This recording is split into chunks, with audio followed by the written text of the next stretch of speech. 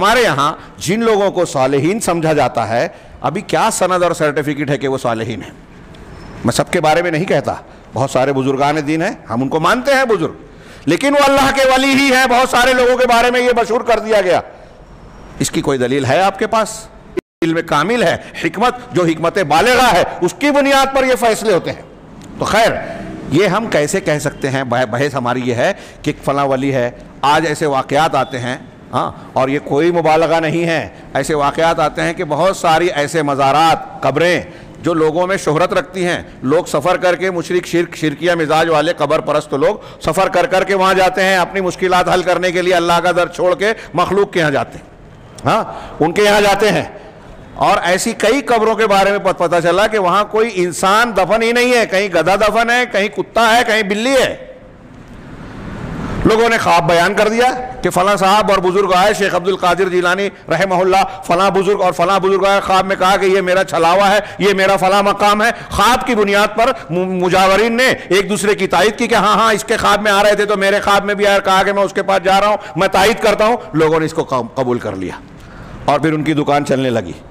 हाँ। सिरात मुस्तकीम बर्मिंगम में पाकिस्तान के सनाउल्ला साहब सियालकोटी ने एक मजमून लिखा था। उसमें बताया कि दो मुजावरों में झगड़ा हो गया बंदर बांट का और उनके अंदर लड़ाई हो गई। तो आपस में जब वो बहुत जो है शिद्दत की झगड़े होने लगे तो वहाँ आवाम मौजूद है, ये उनको एहसास नहीं रहा। हमारे गुस्से के एक ने दूसरे पर इल्ज़ाम लगाते हुए कहा, यानी उसको कहते हुए कि अगर तू बहुत बन रहा है तेरा भांडा फोड़ दूँगा मैं। हाँ तेरे जो है जो है हकीकत को बेनकाब कर दूँगा। कहा, क्या करेगा? कहा, तूने ही मुझसे आगे कहा था कि हम लोग एक, जो जो कमाई का ज़रिया बनाते हैं, मैं एक ख्वाब बयान करूँगा। हाँ ऐसा ऐसा बयान करूँगा कि शेख अब्दुल कादिर जिलानी या फला बुज़ुर्ग मेरे ख्वाब में आए थे और यहाँ ऐसा ऐसा है, ये बताना। हाँ मैं बताऊँगा और तुम आके फिर मेरी तायद करना और फिर हम यहाँ मज़ार बनाएँगे और पैसे की कमाई होगी, उसको मिलकर बांटेंगे।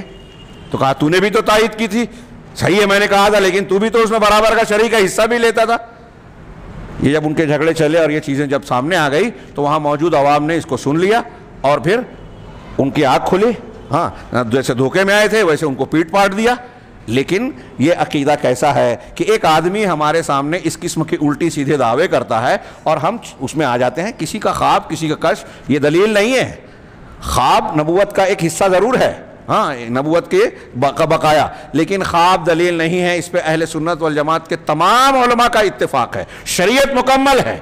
किसी का कोई, किसी का ख्वाब जो है, शरीयत में दलील बनकर आप शरीयत में इजाफा या पहले से मौजूद अहकाम में कोई तब्दीली नहीं कर सकता। ये बात दिमाग में रखना चाहिए और शरीयत को शरीयत के उसूलों के मुताबिक लेना चाहिए। और अकायद का जहाँ तक मामला है, इबादत का जहाँ तक मामला है, इसमें भी कोई इख्तलाफ उसूलन नहीं है। हनफी शाफी मालिकी, हम्बली हदीस के दरमियान तमाम जमहूर उम्मत मानती है कि अकायद को कुरान और हदीस की दलील के बगैर नहीं माना जा सकता।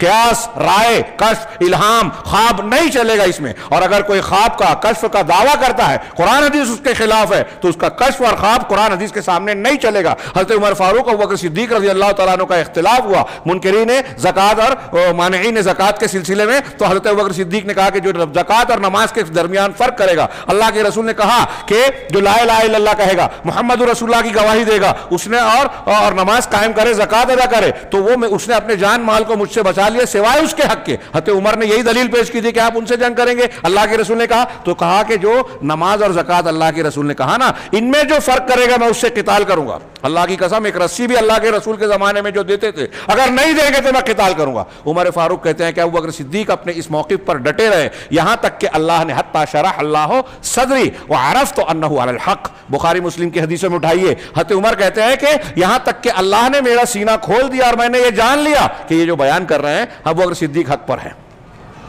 गौर कीजिए, कौन है हज़रत उमर? अल्लाह के रसूल ने फरमाया कि मेरी उम्मत में इल्हाम वाले अगर कोई है तो उमर फारूक हैं।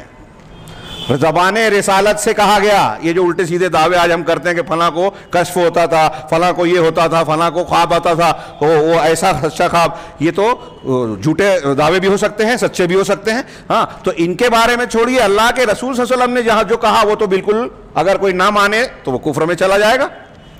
उमर फारूक इलाहाम वाले हैं। लेकिन जब उनका उनकी राय अबू बकर सिद्दीक की राय से टकराई और अबू बकर सिद्दीक रज़ी अल्लाह तु की राय कुरान हदीस, हदीस के मुआफिक थी तो उमर फारूक ने भी माना कि अबू बकर हक पर हैं। क्या क्या नतीजा निकला कि कुरान हदीस के सामने उमर फ़ारूक रज़ी अल्लाह तहों जैसे साहिब इल्हाम की राय भी नहीं चलेगी तो अब बाद वालों की कैसे चलेगी? तो ये एक अलग ज़िमनी बहस है।